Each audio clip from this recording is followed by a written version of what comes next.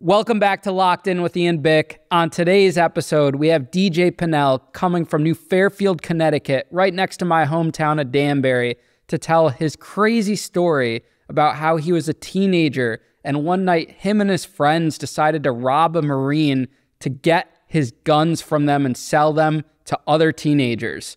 In this crazy story, we hear about the night that he got arrested and charged, how he gets sentenced to a youthful offenders prison in Bridgeport, Connecticut, and how he was in and out of prison throughout his 20s. By the end of his story, we figure out how and if he was able to turn his life around and get on the right track. Thank you guys for tuning in to Locked In with Ian Bick. Thank you guys for week after week showing us continuous support. And if you could just do us one quick favor, hop onto Apple Podcasts, Spotify, or wherever you listen to your podcasts and leave us a review. It does help us tremendously. And if you guys are listening and watching this on YouTube, give us a like, leave us a review, drop a comment, share it to your friends. It helps us. All right, guys, that's all I got for you. Sit back, relax, and enjoy my interview with DJ Pannell.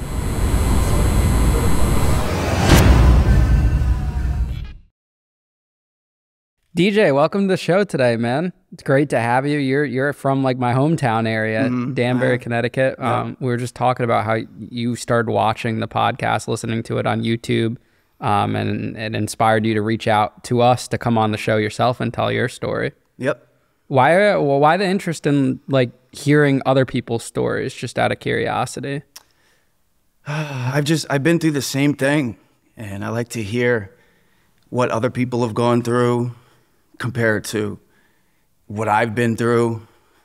It's a oh man, I'm thinking about it right now. It makes me it makes me it makes me it makes me crazy because I used to be like a normal kid, and uh,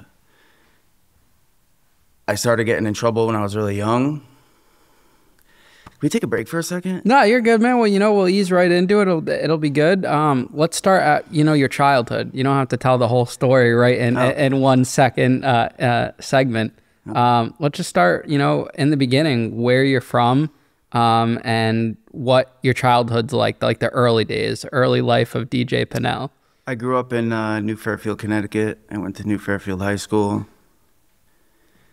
I just uh, I started doing drugs, and that's really what really what got me going down the wrong path. What's New Fairfield High School like? Because I went to Danbury High School. Is it similar? Is it smaller? I mean, Danbury High School is a huge school, and I think New Fairfield's one of our rivals, right, in sports. Yeah, I actually didn't get to play you guys. Uh, I played football in freshman year. Oh, you were a football player. Uh, well, I tried. I broke my wrist in the middle of the season, and that was kind of the end of that. Were you on the freshman team or varsity or freshman what? in JV? Fresh, so you were pretty good then that freshman year. Well, junior varsity coach saw me playing a couple a couple games, freshman games, and he was like, "Yeah, we could probably use him." I got the nickname uh, the Kid. You were called the Kid. The Kid, yeah. Whenever we were down, and it was just like we needed a, uh, we needed something. Uh, the coach would say, "Throw the Kid in there," and and every now and then I would make a big play and what position did you play? Outside linebacker. You know, I I think I only went to like two high school football games. I was never really into that, into the sports. I was a theater nerd. I did the musicals uh, every year. Um, but I was a part of like you know how we all have like um, the um, the the spirit teams or whatever that mm. root for the the uh, our home team. Um, we were the Hatters Hooters, I think we were called and um, I just would do the tailgates, like all the burgers and the hot dogs and everything, and that's why I went to the game. But I was yeah, never you, really into sports. Yeah, you were the the guy who set everything up, right? yeah, the, the I was party coordinator. Yeah, that, which uh, it was like how I got into the house parties and, and the club stuff down the road. Didn't you? Weren't you guys called like the Rowdy Rebels or something? I forgot the name the, of it. Yeah, the Rebels. The Rebels. Okay. Mm-hmm. And was it a good football team? Uh, we were not so great. No, we were not so great. There have been good Rebel teams my my team was not so great. I think we I think we won about half our games. Gotcha. And did you grow up with siblings? What kind of fam? What was the family had, life? I grew up with two brothers. Uh, one of them passed. Oh, I'm sorry, man. The other is a couple years younger than me. And what about your parents? What did they do for work? My father uh, and my my family. We were talking about before. have a local electrical contracting business, supply mm-hmm. warehouse, and my mother was a, a veterinary technician growing up. So a lot of animals. Really? Did you guys have like a family pet? Oh, we had many, many pets. Dogs, Lots cats. of dogs, dogs, cats, everything. So, uh, how would you say like the childhood was in the in the younger years? Was it like you guys grew up middle class? Yeah, middle family? class. I had a great family growing up. Uh, I have no complaints. My parents worked very hard, Mm-hmm. you know, to provide for me and my brother, brothers. And that's what's crazy about like, uh, you know, me getting into trouble. It's like I had no excuse.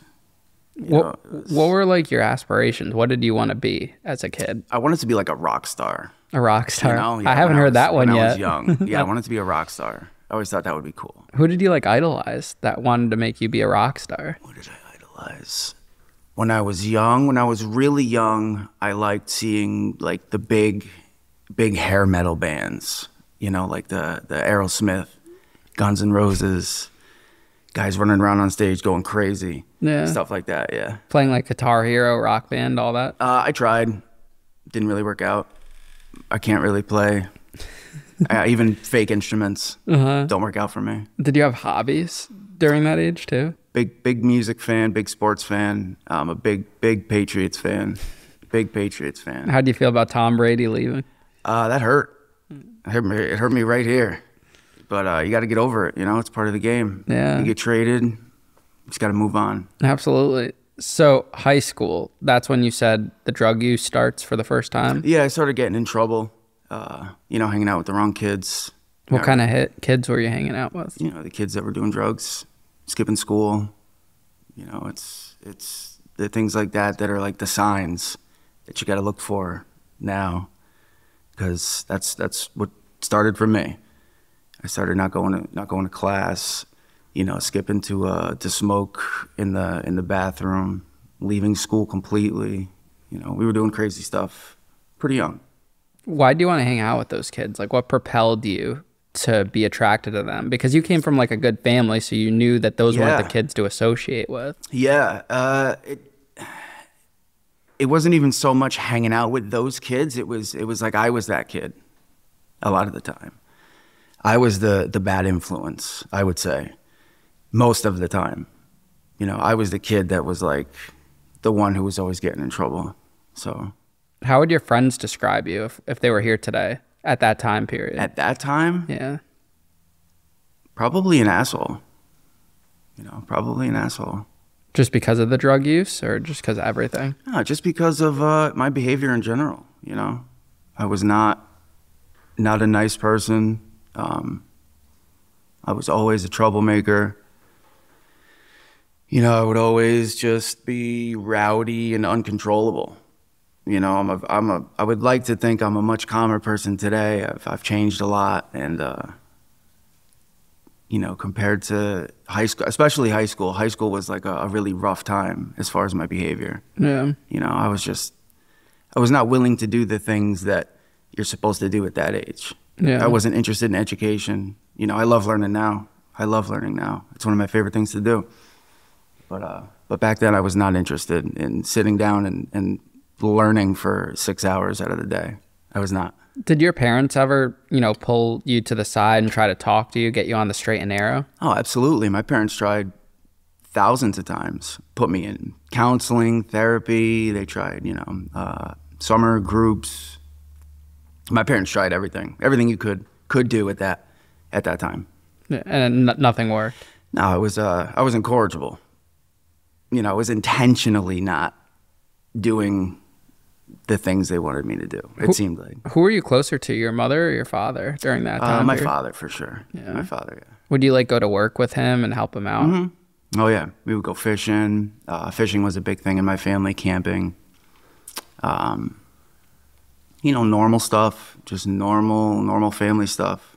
So it must have been hard for them to see you start using drugs. Oh, absolutely. coming from that family. Oh yeah, there was no no troublemakers in my family. Everybody, you know, a lot of college, a lot of education, a lot of successful people, hard workers. You know, blue collar, white collar. Was the idea of college like a lot of pressure for you at that time period? No, it wasn't even a thought. Wasn't even a thought. Not for me. Yeah. it wasn't even a thought. So you're just going with the flow. I was just going with the flow. I had no, I had no, I had no direction. I had no, no aim. Do you think there was a lot of pressure put on you to be someone? No, Not at all. no. Do you think things would have changed if there was pressure? Probably not. It would have turned out the same I was way. I was all doing what I wanted to do. I wanted to hang out with the girls and get fucked up and do what I wanted to do. You know, all the time. So, what's the first drug you try at that time period? Uh, I started smoking pot. Yeah, weed. Weed was uh, weed was the big thing. I was probably 12, 13 when I started smoking. What year is this? 1998, 1999. Okay. Born in 86. Okay. So probably about then. 88 or So 98, 99. Start smoking weed. How does that escalate further? um, we would just always try and do it. You know, we were always trying to scheme and to get to get some bud. You know, even at a young age, we were always scheming.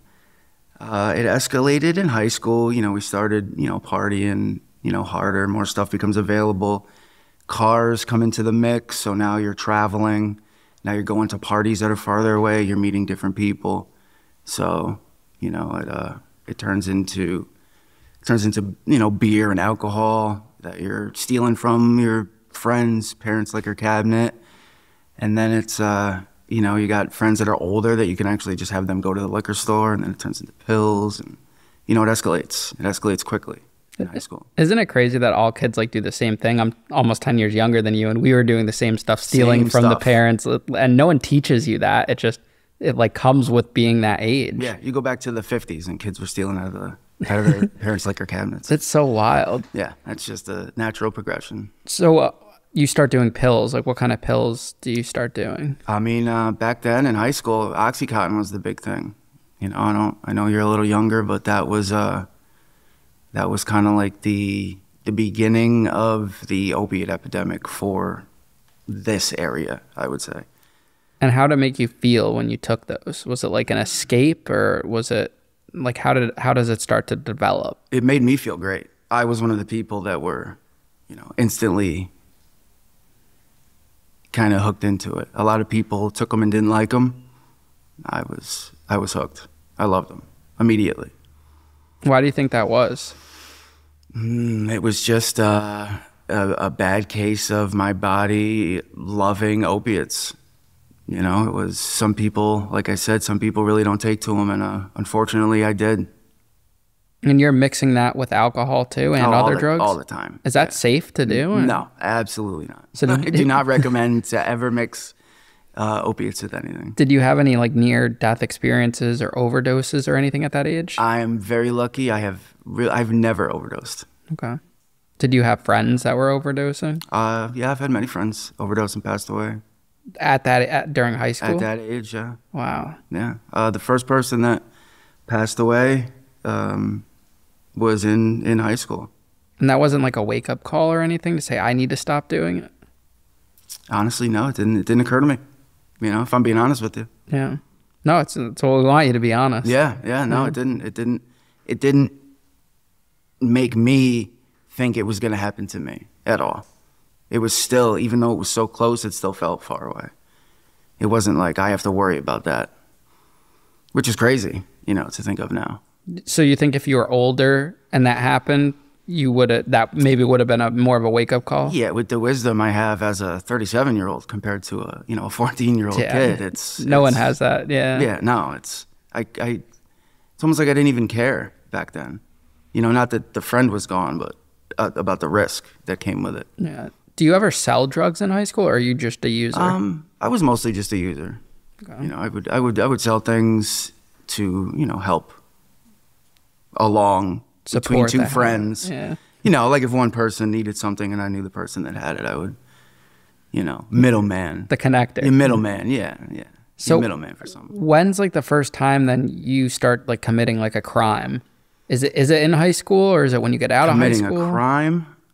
Like not that not the drug use that, that that's in itself, but maybe like I don't know, g- going a little bit farther out um, with your No. friend group. I mean, uh, I had a friend when I was young. Obviously, I'm not going to use anybody's names, but uh, uh, we were breaking into houses when we were like 12, 13 years old. Really, as a teenager. Oh, preteen. You know, you're Wow. 12. You're not even a teenager.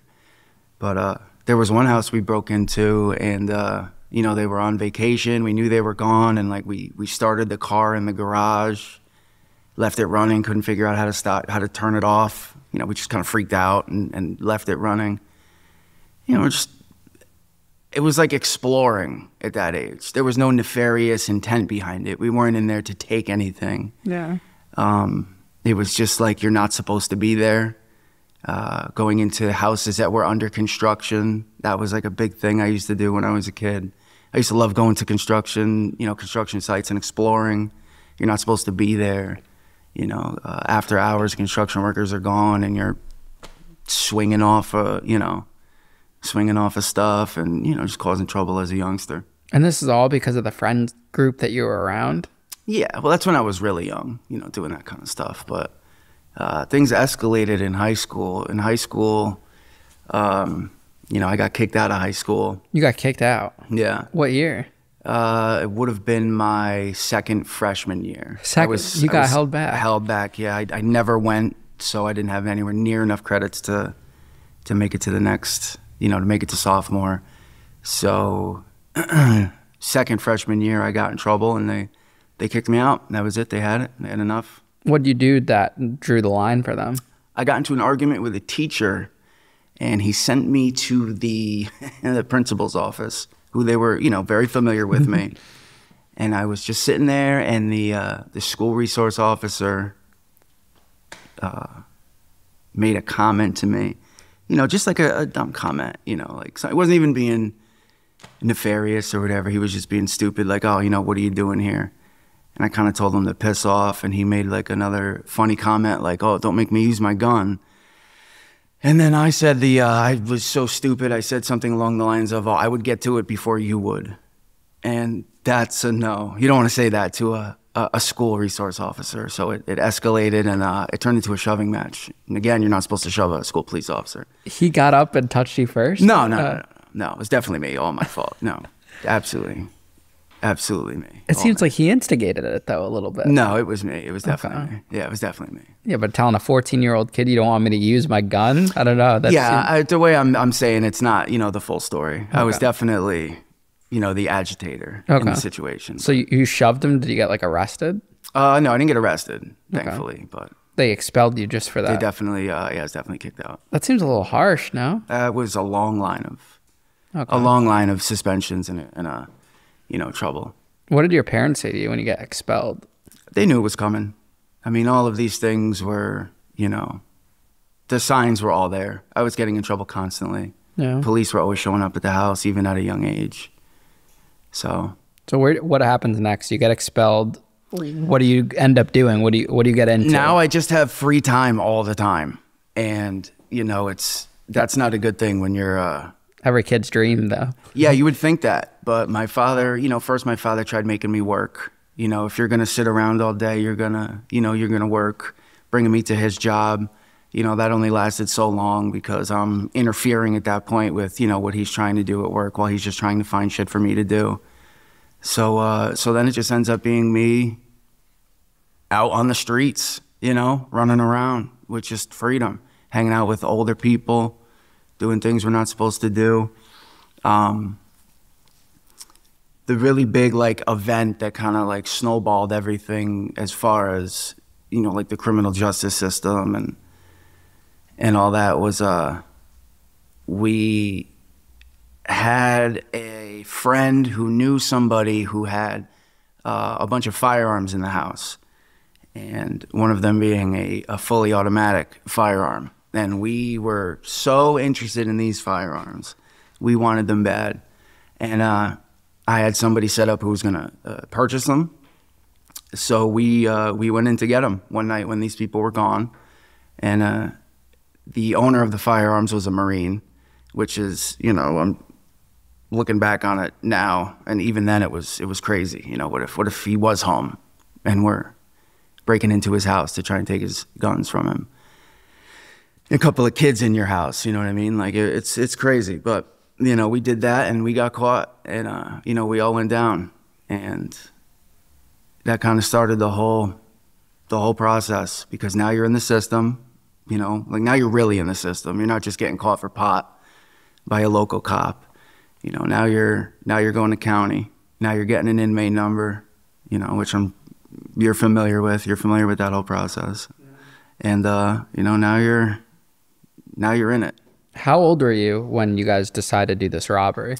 I was I was 16 or 17 and I was with other people that were 15, 16 and 17. There was like 5 of us. And what was the intention? Did you guys want to use it to harm someone, or are you guys doing? No, the it just- intention was to sell. I had somebody that we were going to sell them to. Oh, you were going to sell these guns. Yeah, I already had somebody set up. Wow. I already had a buyer. It was going to be a lot of money. Yeah, I was going to be a significant, you know, at for us at the time, significant. So you know? how does a group of like 16 year olds break into a Marine's house? Like, wouldn't he have it locked up, the guns and, and like a anything? He's a Marine, yeah, you would think so. And it was just out in the open. No, I mean they were they were you know in closets and and normal locations you would keep your guns. Okay. They weren't in gun safes or anything. They were all basically you know easy to access.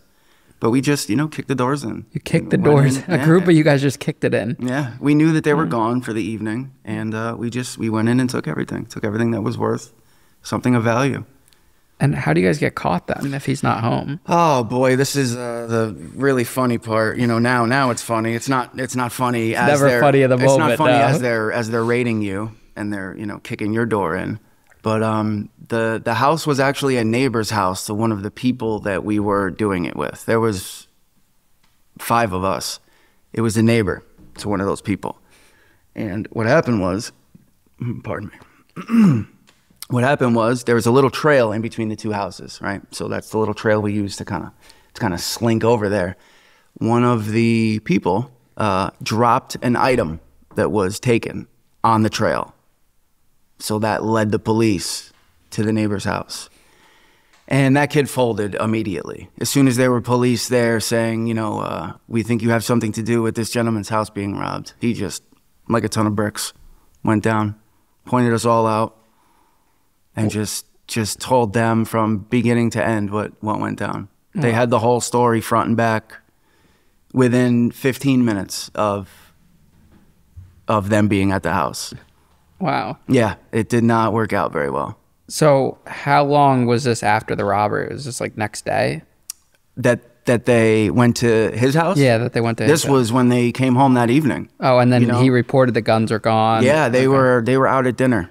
Okay. And then he came home at whatever time, 10, 11 o'clock, noticed his house was, you know, in complete disarray, reported it. Your friend's not the smartest to rob his own neighbor. No. could be looked know, at as the first uh, suspect. Yeah, I guess. I mean, I didn't know their relationship, so I didn't know if if he would have looked at him. But Uh-huh. the fact that, and he's also the one that dropped it, the item. It was a Discman. Okay.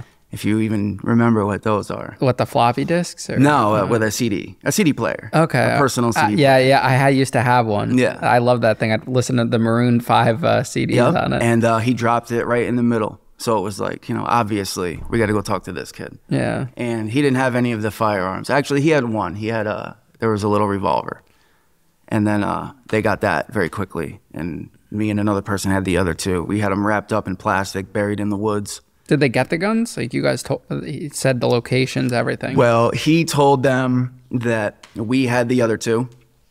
So me and my other friend, I'll call him MS, uh, were at his house. I was living with him at the time, and we were playing. I want to say like Madden 2003 on PlayStation 2. I'm guessing, and we're sitting there, and I have a blunt hanging out of my mouth, and all of a sudden I see a police officer at the window, who's like right here. The window's right here, three four feet away, and I just see him peering in, and I'm just like, it's just hanging out of my mouth like a like a mechanic in a in a in an old horror movie, and um, then I just hear I hear banging on the front door, and that's I'm just like that's it, you know. And they just they come in, they come in hard and slam us on the ground. You know, they got the gun to the back of my head, and they're screaming at us, telling us, you know, we're going to jail. Where are the guns? Blah blah blah. Uh, like I said, we had them wrapped up and we had them buried in the woods uh, across from the house. Uh, one of them wasn't even assembled yet. It was still, you know, in pieces. The bolt was still unassembled and everything. We hadn't even had a chance to, to even like mess with them yet. We didn't even get to play play with anything yet. yeah. And uh, my friend at the time, MS, uh, said he was going to kill himself. I guess he thought that was going to help him get away. You know, maybe they'll take me to the hospital and I won't have to go to jail. And, uh, you know, that was it. I'm sure the cops are taking this extremely seriously. Oh, yeah. it's a couple kids with armed Yeah. guns. You guys Oh. could have been like shooting up a school. Yeah, or they had no idea. Yeah, they had no idea. They had no idea what we were what we were trying to do with these things. They were they rated us like like you would see on a any YouTube video. You Did this make it into the papers at all, or was this Uh, yeah. Oh, yeah. Absolutely. during Yeah. that time? Oh Wow. yeah. Your family was probably devastated by Oh, this they whole were. thing. they were pissed. What's your first conversation with them? My first conversation is from the county jail. And You what know? do they say? Like, what the fuck, DJ? Yeah, they're pissed. Yeah. They're pissed. Uh, I had a, at the time, I think it was a quarter million dollar bond, Hmm. and they put the house up to get me out, and uh, they let me sit for a few days, purposely. Um, my father was like, you know, we're gonna teach him a lesson. Uh, they got me out, and my father told me, you don't have to worry about the bondsman, you don't have to worry about the police, you don't have to worry about court. If you don't show up for court, I'll fucking kill you. You know, because he's putting the house up to get me out. Yeah. So I'm curious what your. I know you said that you know you you wanted to make the sale for money, but you didn't really need money. Could you? Couldn't you have went to your parents? Like, what's your motivation to do this? it was still money. yeah, you know, we would have got you know about ten grand for him. So but couldn't you have just went to your parents or worked or done something? oh, if I asked my parents for that kind of money, they would have. They wouldn't have done. Oh, absolutely not. No. So you understood the concept of money at that age, like Oh, wanting absolutely. to. Absolutely. Okay. Yeah. Oh, absolutely. I had jobs. You know, we worked, and still, this was the quick way. But it's not like you were like a kid that was starving. You didn't rob. No. Yeah, you did this just because you wanted Yeah. more money. and the rush and it was fun to do and it was it was bad and it was you know Now, are you and all the guys you did this with at county together, or they split you up? um not in county we were split up but when i was finally sentenced uh, one of my co-defendants who told on me and everybody uh, they actually put him in the same block as me in uh They put the snitch in the same yeah, block. and uh, at, at Manson at MYI, they put him in. We were in G. We were in G A. I was in one, and he was in six. And he came walking down the unit, and I started screaming out into the unit. You know, excited to tell everybody what this dude, you know, did Yeah. to me. How he how he threw me under the bus. And what'd they do to him when you started screaming? Um, they didn't do anything to him that day, but uh, they did a lot of mean stuff to him. They would walk by him while he was on the phone and click his click his calls off. This is uh, MS. If anyone knows MS, people that know me who they'll know who I'm talking about. Uh, they would fuck his haircuts up, you know, intentionally. You know, whoops. bzz. Um, That actually happens in prison? Wow. I mean, no one ever like did anything to hurt him or anything. It was never anything serious like that. Because it's a child jail, right? It's a yeah, but uh, you know that's actually where I saw a lot of the more serious things Hmm. was at the uh, the youth facility MYI in Connecticut. You know, people say that, but MYI was where a lot of the you know the crazy shit happens. Cool. And yeah, we'll get into that. Um, the county jail, where is that in Connecticut? Like you, you got arrested. in- Bridgeport. So Yeah, they I brought went to you from New Fairfield to Bridgeport. Yeah, so I went from um, the New Fairfield Police Department to Bridgeport County. Who picks you up? Like state troopers or who transports you? Oh, that time I've been arrested so many times. I get uh, I get them confused. That time it would be uh, you know the local cops will book you in, and then yeah, the local cop will bring you to to county. No, when you're drop you off. when you're at the local police department, because I remember when I got arrested at Danbury Police, I don't you don't get stripped out or anything, right? It- Um, no, not not like not like uh, not like to county. county, yeah. Yeah. I mean it was just pat down, pat your shit down, Mm-hmm. get you into like boxers, flip your stuff out. Not like not like county. they take mug shots, I guess. Yeah, you get your picture, you do your prints on the. Uh, now it's a now it's an electrical machine. I used to I used to still have to do it on the uh, the ink blots when I was younger. When I was there, it was ink blots too. Back Really? yeah, in 2016, even the feds, it was ink. It was ink on the pad. It wasn't. Yeah. electronic. I'm very lucky. I've never actually gotten in any trouble with the feds. Um, yeah, I was almost in trouble for that, but the feds didn't take the case. yeah. so This was- could have been a, a federal case. Absolutely, yeah, But I was lucky. It was all state. It was state the whole way. Okay, so you go to county, you get bailed out. Are you getting into more trouble after you get bailed out? Um, this time, I think I was actually kind of behaving on bond uh, for this case. Um, I didn't get in any more trouble on bond for this one. But you get sentenced to jail time. Yeah, I got sentenced to my first offer was like 17 years. Just for They the came back. Yeah, was the first. You know, the first offer is always, mm-hmm. you know, it's always way up there. They always know you're not going to take it. Yeah. it's always just to to get a conversation started, and I guess that's always kind of like the to kind of to know what level you're playing at. The Yeah. first number is always kind of that's the impression I've always got. You know, it's kind of how serious do they want to take it? Yeah, you know? absolutely. It's always like, yeah, I always kind of figure you're going to get around maybe 30% of what their first offer is. Yeah. Maybe ish. Um, they offered me 17 years, my first offer, and we absolutely told them to, you know, sit on it. I'm not taking 17 years. That's crazy. And do you have a paid lawyer or a public defender? At this point, I did. I had a paid lawyer. Uh, shout out Jeff Jowdy. Uh, damn. Yeah, wait, you had Jeff Jowdy. He was Yep. my lawyer too. so you know. Yeah, I had Jeff is- Jowdy. was the man. Wow, that's so crazy that we had the same. He just did my state cases, but Jeff Jowdy was the man. Yeah, Jeff I- Jowdy walked into the courtroom and told them what was going down on numerous occasions. yeah, he's good. I mean, I remember when I first met him, he's like, "All right, these are your cases. You could combine these two. Here's the money. That's it." And then he took care of everything. Yeah, Jowdy hooked me up, man. He was great, and I was an uncooperative kid. Um, I wouldn't even talk to my lawyer. Like I was under the impression that you know, you don't tell, you don't talk to anybody. So he was pretty. He was a fairly new lawyer at that time, though. I guess. I mean, I don't know when he started practicing, but because this he's not that old. Yeah. This was, I'm gonna say, like 2003. So it stretched out a few years. The whole Oh, this yeah, this case went on for like two and a half years, maybe. Yeah. So what? do- What do you end up getting? What's the final deal?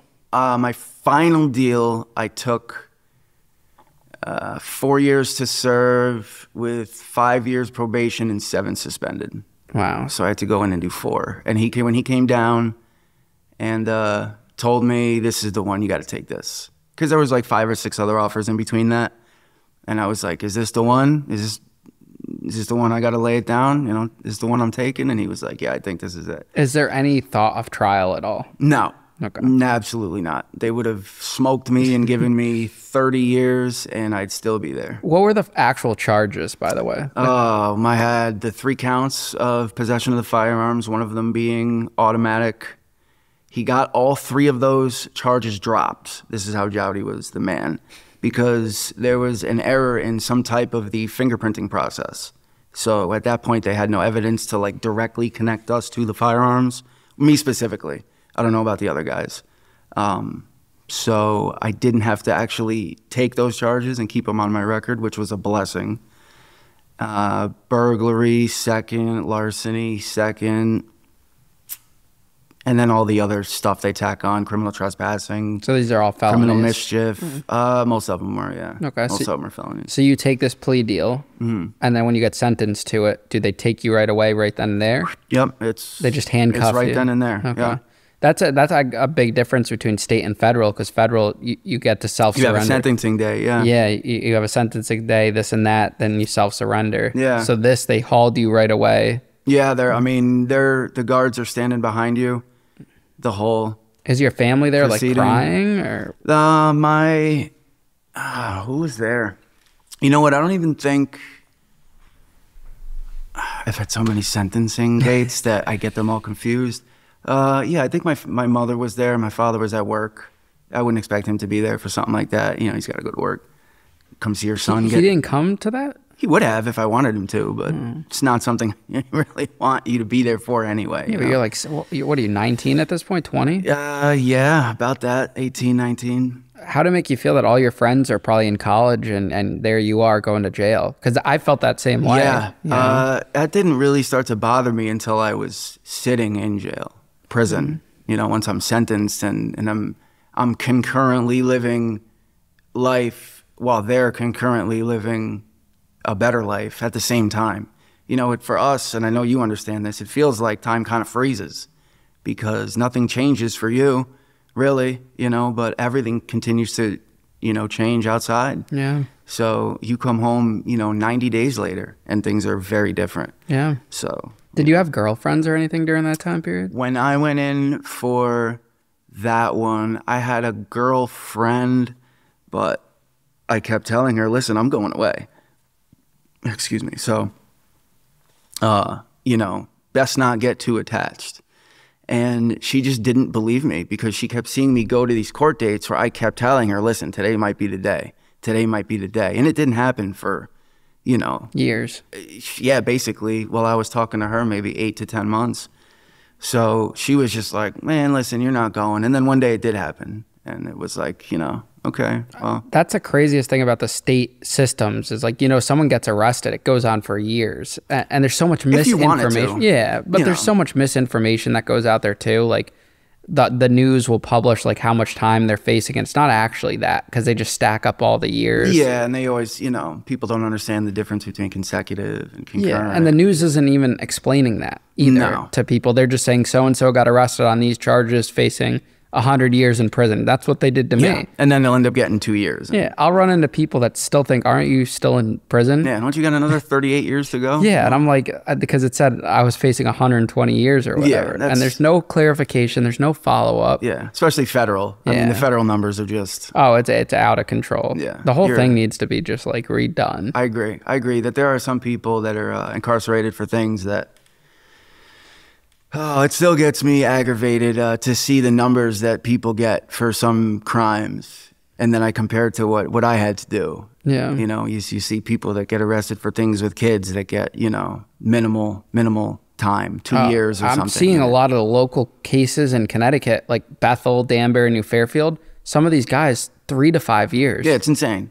That's It's what I got. Yeah, these yeah. kids are it's sex with a minor. Yeah, you didn't hurt anybody. Yeah, right? I don't, Nobody got hurt. I don't understand. Like, there's so many cases coming out of Bethel lately, Bethel, Connecticut. Yeah. I've been reading in the news because I'm always reading the News Times.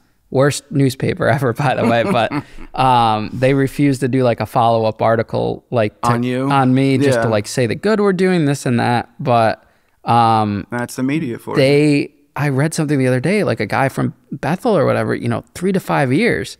It's fucking crazy for a, a, sexual assault with a minor. Yeah, I don't stuff. understand. Doesn't I don't understand how they how they justify, you know, the the, the sentencing for for a lot of crimes. Yeah. If there's no violent, if there's no if there's no violence or or clear cut victim, I mean, I don't even think jail or prison should be an option for a lot of for a lot of things. You know, if you're a, a money guy, if you get in trouble for some type of money thing, you know, unless it's a lot of money, I don't think you should be taking up a bed You know, I think it depends on the situation. Yeah. Definitely restitution, some type yeah, of plan. you gotta. I don't know, but it, you, there's just a lot of things that there's literally hundreds of thousands of people that are sitting in county jails and state facilities and federal lockups and you know you name it. Yeah. They just shouldn't be there. They should be home working, you know, contributing to, you know, the taxes that are instead of costing money, instead of costing fifty thousand dollars a year, for I think that's how much it costs for an inmate in state of Connecticut. It's about fifty grand a year just to sit your ass on that bunk and take up space. yeah. So instead of costing money, if you're there for, you know, uh, uh, shoplifting or, you know, whatever stupid things that you didn't really hurt anybody, you'd be out working. You're contributing to taxpayer money instead of sucking it up. Yeah. Before I got sentenced, I was working at Whole Foods and got, I was giving my whole paycheck to restitution. Yeah. And, you know, we thought that would look good with the court, this and that. And I still got three years. Yeah, they don't care. So you stop. It's not about the money. They don't care. Like the feds will tell the victims, investors, whatever you want to call them, and say, hey, you know, we're going to recover your money. But once trial's over, they get a conviction. They don't give a fuck about They're anyone. done. Yeah, that's it. You're just another case file. Exactly. That there's no follow up. There's no updates over time. You know that Yeah. that's just the truth about the system.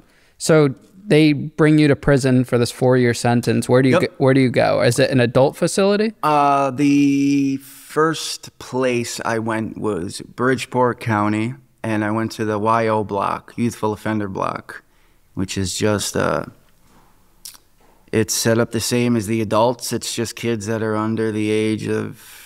It changes all the time. I think at this at this point it was either. I think it was 21. So if you're 21 or under, you could be in this block and uh, it was scary. It was all plexiglass, and uh, I was in a cell by myself, and that was my first time being locked up, other than just being in like the uh, the the uh, town lockup. You know, you're just sitting in the cell downstairs. It's it's no big deal. You know, Yeah. uh, and I don't care what anybody says, man. that shit and that shit is scary. Uh, I don't know anybody in there. Uh, I don't know how anything works. There's no orientation. Um, What are you wearing? Are you in like a jumpsuit? no, at this point it was they were just like scrubs. They were just tan, tan scrubs with like the elastic waistband, the little pocket right here.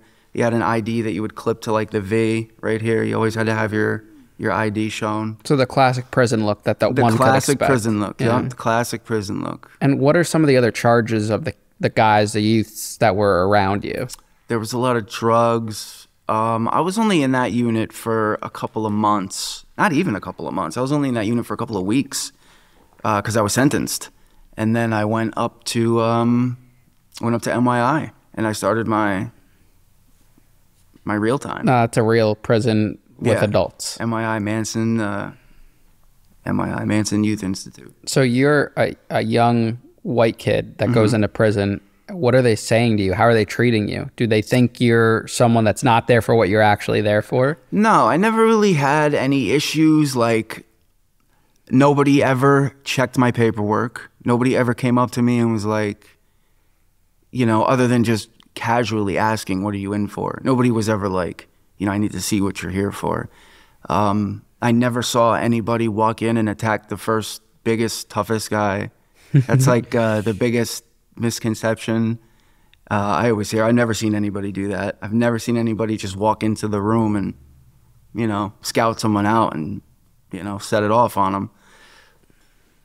But uh, So now, when you say that, and you hear people because you watch the content, and you hear people that say that, do you think they're not telling the truth, or do you think I've never just- seen it. You've just never I've seen it. personally never seen it. I mean, that's just always the thing that you always hear said. I mean, we get a ton of comments from people that have been to prison that watch the clips, and they're like, "No way, I've been to prison before. This doesn't happen." I've never seen it personally. But- I can only give my personal Yeah. experience, and I've seen people walk in and get into altercations pretty quickly, but I've never seen anyone walk in with the intent of just knocking the block off of the tallest dude in the unit. So no, no one fucked with you, which was No, I mean, nobody ever really tried to intimidate me to just intimidate me. Anytime I was ever involved in any type of altercation, it was because it would have been an altercation regardless. Do you think it was the way you presented yourself though? Because like I, I feel like me and you are the same age, but we presented ourselves in two entirely different ways, which would lead to more problems for me and less problems for you. Yeah, How so? I think that like I wasn't like a confrontational type person. I feel like if someone called you something or anything like that, you're gonna stand up for yourself. Whereas I wasn't really that type of kid. Um, well, I didn't want to. I didn't want to fuck my parole up just like anybody else.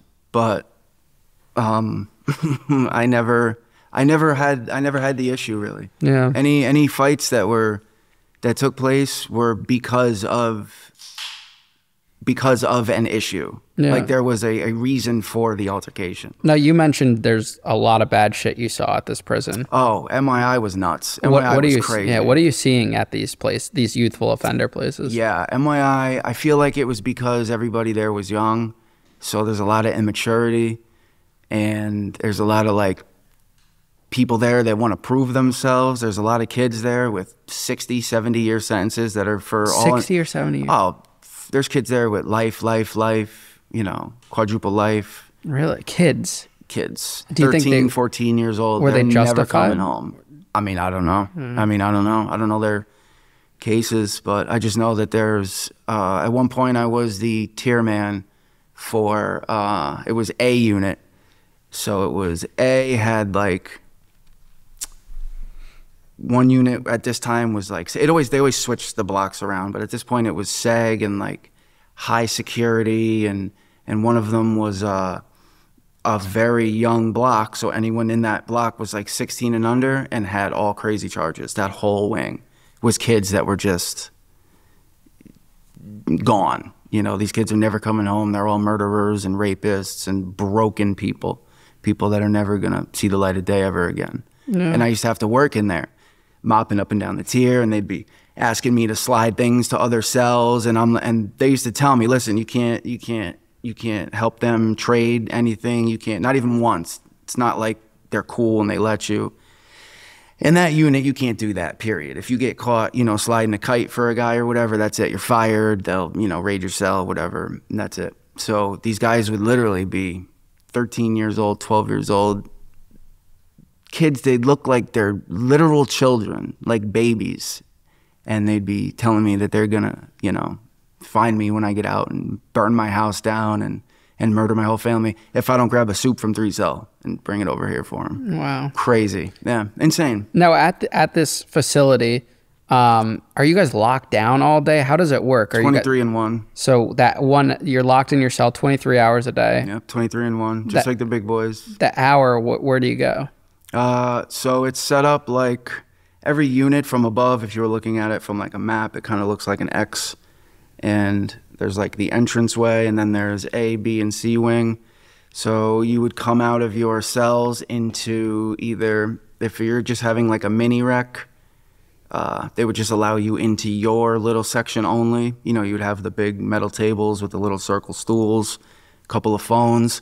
Or if you were having a bigger rec, like they always decided how they wanted to do it, then they would open all of the units and you could go into the other units to use their phones, sit on their tables, just so you had more space. You weren't mixing with the other units, you were just in their blocks while they were still locked in their cells. And do you get a TV in your cell? If you if you buy one, So 23 hours a day locked down for four years, pretty much. Well, I was only there for uh, until I turned, you know, 21. or And then you got to go was. to a- Yeah, and then I went. Uh, they call it going up the way, going upstate.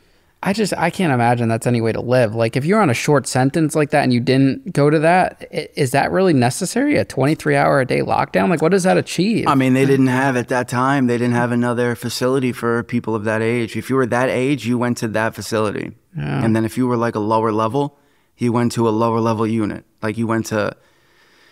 It was A, B, C, D, E, F, G, H, I, and J. There was no K cottage. They were called cottages. Um, like A, B, A and B were like the bad ones. A and B were like intake. So when you first came in and they got to kind of watch you for a month, make sure you're not crazy, make sure you don't have problems with anybody.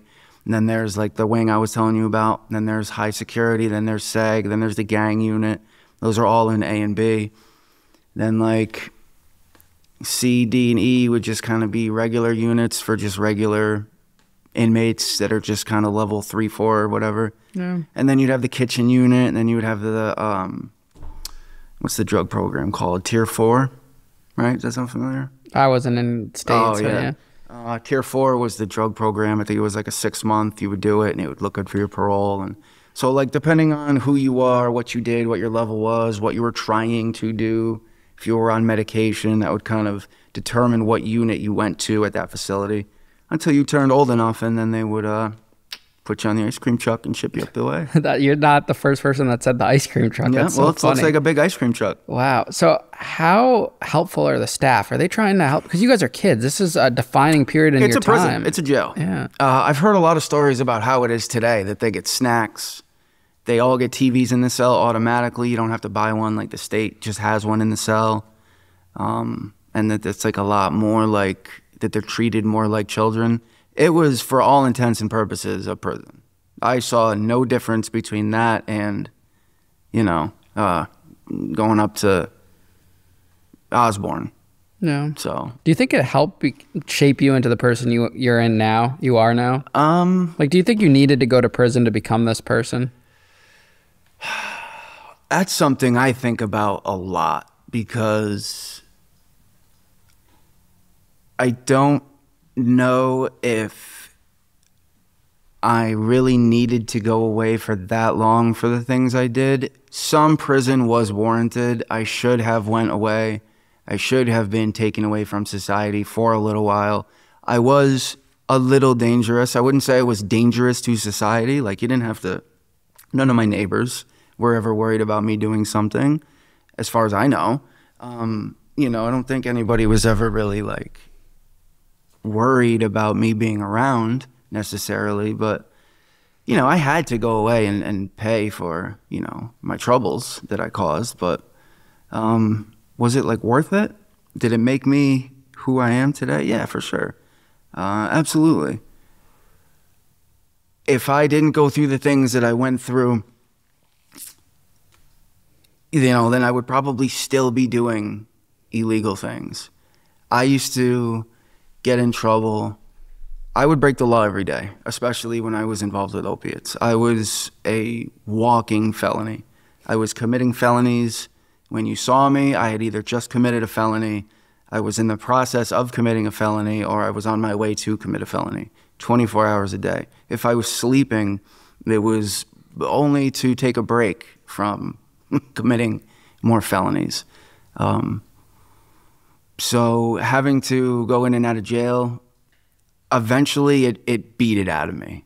Uh, there wasn't one sentence that I would say taught me taught me a lesson. It was all of them together, just just beat it out of me. I, I do not want to go back. Is there stuff that you think about to this day that maybe keeps you up at night from those experiences in jail and prison? No, I wouldn't say so. You kind of try to compartmentalize it and leave it in the past. Um, I mean, I I I kind of have to just look at it as as that was the environment I was in. I fortunately never had to do anything crazy to like protect myself. Um, I never had to. I never had to stab anybody. I never had to do anything like that. but I did see some bad things happen to people, and I'm lucky that nothing bad happened to me because there were a couple of times where we did things that, you know, really negative consequences could have could have came out of in but, prison. Yeah, but just the way you know the way things worked out, be it luck or you know uh, intervention from third parties, uh, nothing bad ever happened. What was the worst thing you saw happen to someone in prison? Oh God. Um, just off the off the top of my head, I got a couple. Uh, when I was at the MYI, the Manson Youth Institution, the way the unit is set up, as you're walking into the back of the unit, it gets a little thinner at the back. Like the end of the hallway kind of tightens up.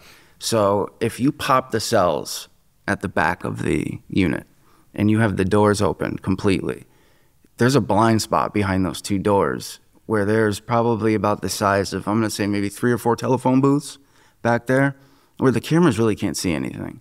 And they took this kid and they kicked him in the face with the, um, I don't know if you ever seen the work boots. With the they, steel toe? Or? No, they're not. There's no steel in them. They're just black work boots, but the, the rubber soles on the bottom are thick and they're heavy. And if you start, you get to stomping on somebody with one of these, it's going to hurt. And they peeled like the skin from like his temple all the way across his forehead to his other temple just kind of peeled down. Like one of them just kind of stepped on his face and it just kind of ripped the skin down off of his face. And they just kind of left him sitting there. And nobody said or did anything for maybe maybe about 10 minutes. And this kid just kind of sat there unconscious, just kind of like moving. What did he do to deserve this? I have no idea. It just happened. I have no idea. Eh, When you He was in my block, and I, I had no idea. What when happened. you heard about this or saw this happen, are you thinking like this could very well have been you? Hmm. Yeah, um, absolutely. Um, there was another time uh, at Cybulski, which is a minimum security in uh, Enfield. There was a bunch of guys playing uh, cards at a table down at the end of the hallway. And there was one guy, I called him Mr. Larson. This is not his real name. But if you know the name Mr. Larson, can you think of what that's from? Does that does that bring up any memories in your head from a movie or something? Mr. Larson? No. What, what is it? Happy Gilmore? I never watched it. No. No. Okay, there's a character from Happy Gilmore. His name is Mr. Larson, and he's like six foot five. He's just a giant, just a giant, and he he threatens one of the uh, the guys in the movie, and then they have to hit the ball off of his foot, and he threatens one of them. He says to him, you know, I'll be waiting for you in the parking lot. Uh, people that know the movie will know who I'm talking about. This guy looked just like this guy. He was just a giant freak. He was, you know, 6'4", 6'6", 200 and, you know, whatever pounds. His hands were like baseball mitts. They were all playing cards at a table. And uh, my understanding of what happened was somebody farted at the table, right? A fart. Everybody farts, right? But as you know, in jail and prisons, there's like a there's an extra etiquette that comes with it. You have to, you know, excuse me. You have to have your manners, especially in a facility. You know, you can't just be farting walking by people. People will get fucking stabbed over something like that. So one of these guys, I'm gonna call him the little guy, um, farted, and the big guy got mad and these guys got to, you know, yammering at each other. The little guy started walking away uh, aggressively, like like the walk when you're gonna go grab something. You know, I'm gonna go grab my gun from my trunk. Walk. And he came walking back with a cup of bleach. And the, the tall guy, Mr. Larson, saw it. And this little guy threw the cup of bleach at him. And thank God for Mr. Larson, he saw it, so he picked up his chair. You know, the plastic chairs that they have in all the facilities, they're just big plastic injection molded chairs. Picked it up and blocked it. These guys proceeded to fight for, I'm going to say, in all actuality, in real life time, these guys probably fought for five minutes because the COs hit the button. They all came running in none of them wanted to jump in and intervene because there was blood smeared all over the walls. They were both completely covered in blood. There was blood all over the floors. Mr. Larson had the little guy in a headlock and he was just taking those baseball mitt hands and he was just mashing this dude's face into just pieces. At the end of it, he wasn't even conscious. He was holding up this limp body just hitting him. And then the CEOs finally convinced him to stop. And he just dropped him and then just went to his knees and let them do their thing. But that guy beat him so bad over a fart and over the disrespect that comes with a fart. And that always, that always really, like, that's the one I think of first. That's crazy. Yeah. There was another one where, um, I don't know how the bunk beds that you guys have in the feds are are they just all metal? For the most part, some like in the holdover detention centers are all metal with a metal bottom, but like we had springs and the, like the camp one, those were nice. They're comfortable when you have springs. It's Yeah. metal frame with the the springs. Never saw springs. Yeah. But um, this one guy, I know, I don't know if he got pushed or if he got punched, but he got somehow forced backwards, and the, the knot on the back of your head, where your spine meets your head, hit the bunk Oh shit. right here. And I think that dude died. I think that that guy accidentally killed that guy because there was a puddle of blood underneath it that I think in, in like total volume was actually more than the other fight. Because the other fight, it was all spread around, you know, because they were dragging each other on the walls and everything. This guy just hit the back of his head and just opened up something serious and just laid there and it just leaked and it was I've never seen a color of blood like that. I uh, I witnessed somebody get shot in the face, and I did not see this color of blood come from that. So I think this guy died, and we never got to find out what happened to him. You know, they just they they call a code, they they get him out of there, they get out the guy who did it. You never know what happens. This is so much like traumatic shit to see at that age. Crazy. You're 20, 21, 22 years yeah. old. Yeah, it was crazy. I mean, I wasn't even really seeing stuff like that in prison. I'd see some fights. I saw guys get his finger bitten off. Yeah, but this was at a minimum security too. That one was at um, that was at Cybulski as well. that's scary. I scary. was at Cybulski as well. I saw another guy. Did you guys have Kobe adapters? I don't know what a what's a Kobe. A Kobe adapter? adapter is you would order it on the commissary, and it was the uh, the electric block that you would use to like keep your Discman plugged in or your radio plugged in. It was just a box that would plug into the wall, and it had a switch for the voltage, and you could adjust the voltage to power your Discman to power your No, radio we didn't have that. No. and it was just a like a power brick, but it was heavy. It was about the size of a, a softball, and it had the two prongs. Well, I watched a guy whip one of those at somebody, and the prongs stuck in the side of his head No. over, you know, uh, uh, some kind of debt, something stupid. I'm sure. People do crazy shit. People do prison. crazy shit. Yeah, people get crazy over over stupid things, and I, I found myself getting caught up with it because if if you did something to me today here, if you stole something worth literally seventy five cents from me, I wouldn't give a fuck. Ian stole my, uh, you know, my. I don't know, my air freshener. Something I, it wouldn't bother me for a minute. But in there, you have bucks- to care. Yeah, even a hundred bucks in the real world. I mean, a hundred bucks. I feel like I might be a little. I might but be. you're a not little- losing your freedom. Yeah, I'm not. though. I'm not You- gonna You got to think about it. blow my top over. You know, it's gonna be nothing more than a verbal. What the fuck? Can I have my money back, please? Um, but in there, it's like somebody steals a, a soup from you. You can't let everyone find out that somebody just stole the soup from you because now you're fish. Now you're the target. Now everyone has you uh, as weak or whatever. So it's like you have to, you have to, you have to give things value and importance in there that don't have really much importance. Like a, a stamp in there, you know, a stamp is 47 cents or whatever it is, but in there it's it's money. And if somebody steals your stamps, you know, you got to handle it. You got to do something about it. Yeah. It's crazy. Now, were your parents supporting you financially in prison or were you hustling in prison? In the beginning, um, they were sending me they were sending me money and stuff uh, for that sentence, they sent me a bunch of money. Uh, as I got older and I got in more trouble and went back for other things, they stopped. They stopped sending me as much. You know, they get tired of it when you're 25, you know, 30 years old, you're still getting in trouble. But uh, for that for that sentence, yeah, I had a I had a fair amount of cash on the books, and it was nice. I was living I was living the the, the prison baller lifestyle, as they say, going 50 deep every week. You know, I always had money for. We were smoking weed. We were I was hustling too, though. We had a um, we had a smuggling operation that was second to none. A smuggling operation. Yeah, okay. it, it involved another CO, um, so we could get whatever we wanted in. How would that work, and what were you getting? Uh, drugs mostly. Drugs, Game Boy Advance games. We had the Game Boy Advance at the time, so the little cartridges. Is there smuggling in Game Boys Oh, into yeah. prison? No, just the cartridges. Oh, just the cartridges. Because you could get the Game Boy Advance on commissary. Really? Yeah, you don't. Uh, no, we didn't have that. The feds have uh, tablets now. yeah, I Yeah. heard about that. They didn't have it when I was there. Me neither. So you guys were getting this stuff just smuggled in. Were you selling it, or were you? Just, Oh, yeah. So how much money were you making? Um, it depends because we would smuggle in different things. And how did you get the CO on board? So my friend, I'm gonna call him Bro Champ, It's a good one. my buddy Bro Champ.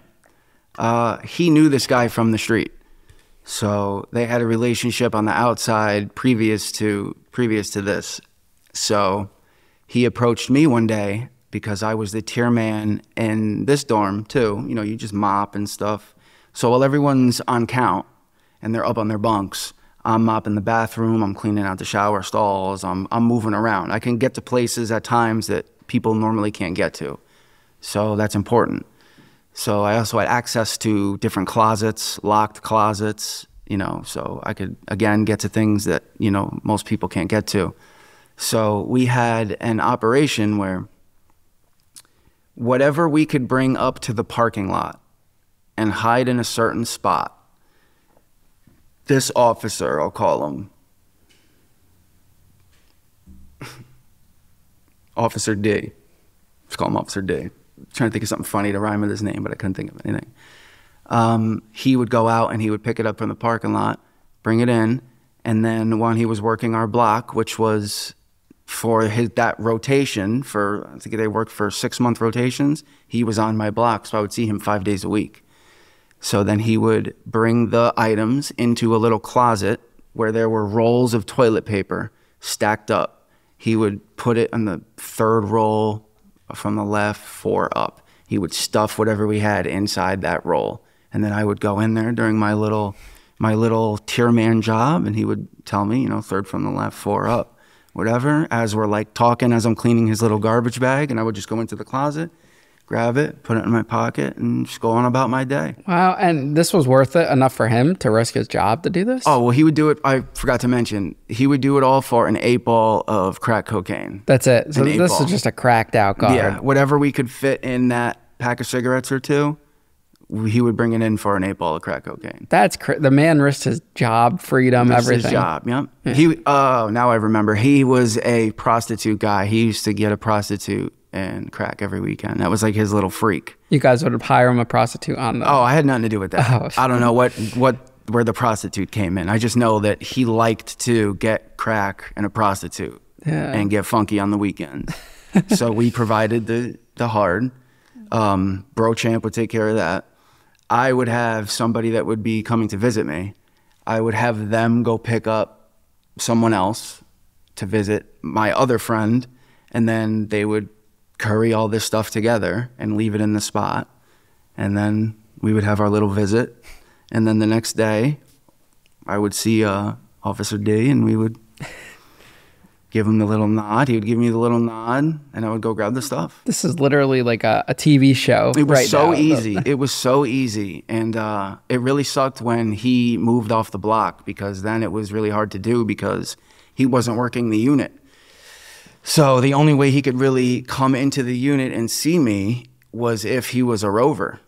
And how is it going to look if a rover walks into a block and walks into an inmate's fucking cube and hands him something? What's a rover? So Oh, just an officer that that roams around. just yeah, he he roves around. Okay. He's just constantly walking through the hallways, you know, moving paperwork back and forth. Just the, you know, the gopher. Anyone that needs anything, that that officer is roaming the hallways. Yeah. So they're Wow. there to help out, I guess. So how much time do you do on the four year sentence? Do you do the whole four years or you get out early? Well, I was on track to get out early. I was actually released to a uh, halfway. house? halfway house in Waterbury, Connecticut. That's where I was too. I was at the one, and it was on. Uh, it was named after a tree, Elm Street, Elm maybe, Cedar. I don't know, but I was. Uh, I was actually in Seg, and in state facilities, you cannot be released onto parole or a halfway house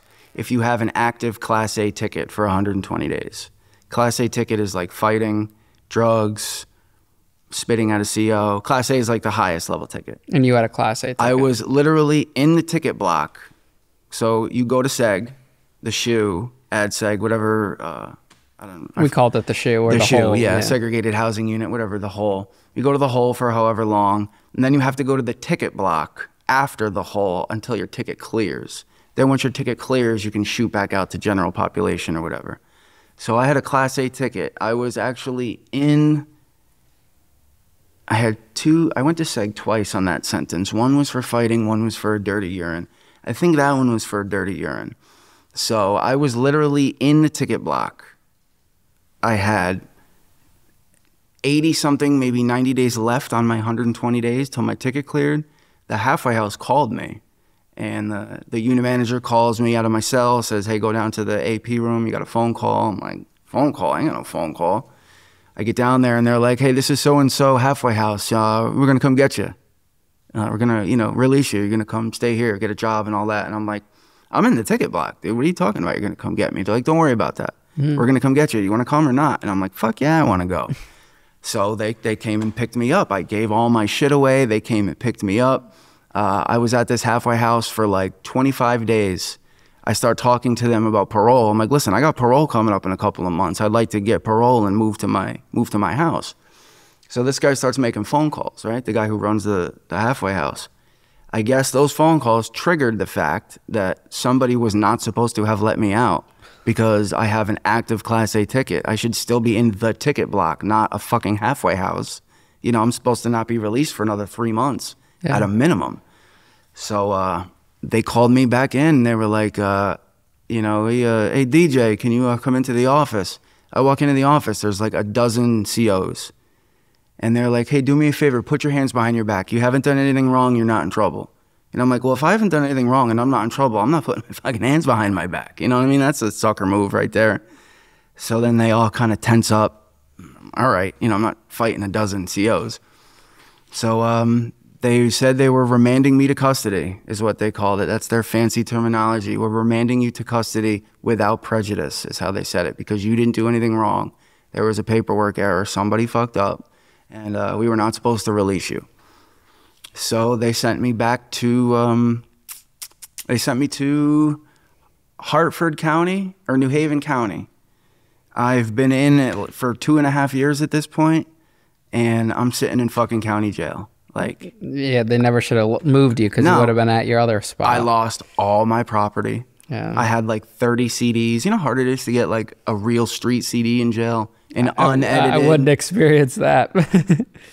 That's so crazy. You could though. order CDs from the commissary, but they were always uh, censored. Yeah. So I had a CD book with like 25, 30 unedited, uncensored CDs that, you know, I paid good money for. Lost all of them, lost my TV, lost all my clothes. I had all custom, you know, um, all my clothes were fitted to me. Like it took literally years to build up all this stuff, all the little contraband items I had, like Yeah. just so much stuff. And now I'm sitting in county with a basically like a fresh bid, and uh, they didn't let me out for like another like another ten months or so. So you did about three years on that sentence. I did like three and a half. Now you get out, you just go back into getting in trouble. I completed the parole. I did about three and a half off of the four. Years. Yeah, No trouble. not enough to Get go back. What about drug back. drug use? didn't do any drugs while I was on parole. Were you working? Hmm. I was the model parolee. So you were trying to get your life together. I was trying to get off parole. Okay. Um, You knew the system, how to how to work yeah. I was trying to get off of parole. Once I was on probation and I had a little more wiggle room, um, you have a little more wiggle room, but the hammer's a lot bigger because I had seven suspended. So uh,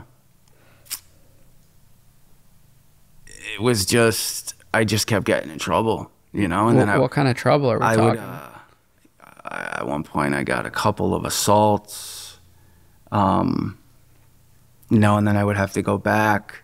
I ended up altogether doing like another, you know, maybe two years, two and a half years. So you lost your whole twenties basically to in and out of prison or probation. Even parole. more so because besides the, I'm going to say about five and a half years incarcerated, um, I had to spend another maybe two years in other facilities to get my my mental health in order. Okay. So yeah, my 20s basically. Were your parents supportive throughout the way on your on your journey through the system? They were pretty supportive. Um, Did they ever like say we're done and walk away, like cut you off? not not completely. Like, you know, they wouldn't send me money after a certain point, which is completely understandable. You know, I'm grown at a certain point. You shouldn't be enabling. You know, I get that. Um, you know, they were supportive to a point. Yeah. You know, they would pick up the phone if I called, Yeah. but they weren't exactly coming to bond me out anymore.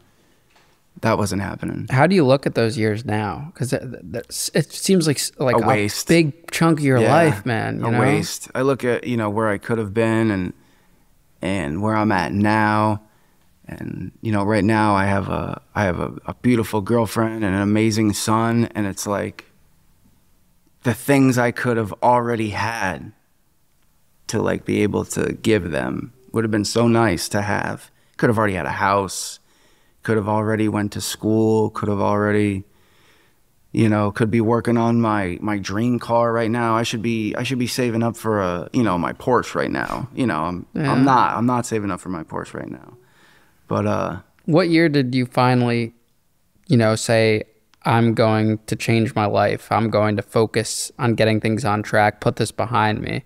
Probably coming up on about four and a half years now And what was the mitigating factor? What set you to do that? my father passed away about that time and that was probably like the straw that broke the camel's back because just that was just like the last miserable event where it was just like I'm done giving in to like the the misery. Does that make sense? Like the final piece that could break you in a way. Yeah, like when my, my father passed away, he had um he had cancer and it it it got him and it got him real quick. Uh, he didn't find out about it until about a month before he died. So it was it was very fast. He went from you know not feeling well to passing away in about a month. and I was just like, you know what? I need to I need to do something with myself. I need to I need to fix need to fix this. You know, for my family cuz if if I get in more trouble, if I pass away from something, if I fuck around and and kill somebody driving under the influence or something like that, you know, that's it for me. I'm not getting any more chances. The judicial system is not giving me any more chances, that's for sure. If I go in with a jaywalking ticket, you know, it's it's a problem. They want to they want to give me probation for a jaywalking ticket. You know, Yeah. it's crazy. So uh, about four and a half years ago, yeah, It's crazy how like things that happen to us on that level are are are what takes us to having to open up and and see. And not everyone realizes it too. Some people still continue and it doesn't end well. But that it's very lucky that you were able to see that for what it was in that moment and, and and change. What were some of the steps you made after that? when that happened to really get things on track and have the life you have now? Uh, I really started to focus on on staying clean and uh, surrounding myself with the right people. I had to get away from some of the bad people, and uh, once you eliminate shitty people in your life, everything gets easier. You know, like I had no positive influences. I had no one I could look to and like ask for advice that would give me like real honest advice. Any advice I would probably get from any of the people I had around me at that time would have been self-serving in some in some form or another. You know, it would be it would be them trying to get something out of me or you know, let's go get in trouble, let's go let's go rob somebody, let's go you know, just do things that are not good. Yeah. The people I used to hang out with a lot of the time were not good people. So you surround yourself with positive people, guilty by association. You know, if you surround yourself with winners, you're going to be a winner. You surround yourself with losers, you're going to be a loser. And you know, once you change that mentality, the good things start coming into your life. You found your girlfriend, you have a, a son now, yeah. you have all these things. It's incredible how fast really good things started happening for me. And you've been clean from drugs? Mm. For about four and a half years. That's awesome. I don't I don't have an actual date. Um, it's like March. March. My father passed away a couple of weeks after his birthday. So it's like March 2019. Yeah. I'm not good at math. It's about four and a half years, four years. Now, if you somewhere in there, you could go back in time and and you know back to your teenage years and, and just you know be that older figure to your teenage self and have a conversation with him, what would you say? Oh, I would tell my older self to to not touch the opiates. That would be the one thing for sure. Opiates have caused more pain in my life than than I can even begin to, to tell people. Opiates for sure. I would tell myself to leave the pills, leave the pills alone. And that would have saved you all the all the trouble. No, um, that would have saved me a lot of trouble. It would have saved me the most impactful trouble. But also, maybe you needed that trouble to have the life you have now. I guess. Uh, yeah, in a way. In a way, you're right because I would not be where I'm at with the people I'm at right now if those things did not happen the way that it happened. What's your next plans? What do you what do you what do you what's like the five year plan? Where five do you go year plan is to make sure that my son is, you know, healthy and, and raised right. Um, really just uh, expand on on continuing the positivity. Um, I'd like my own like my own home soon enough maybe a little little longer than a five year plan. That might be a 10, 15 year plan. But you know, I'd like to own a house soon enough. That's on the list. Continuing to work on yourself, maybe mm-hmm. you know, keep finding your peace and whatnot. Yes, definitely continue to find my peace. Um, like when we were talking before, gaming has been a big relief for me. Uh, I never really had anything to put my energy into before. Now after a long day at work, you know, if I find some time to like veg out, I throw the headphones on and it's just like I don't think about causing trouble like I used to. Yeah. I used to just like seek out trouble.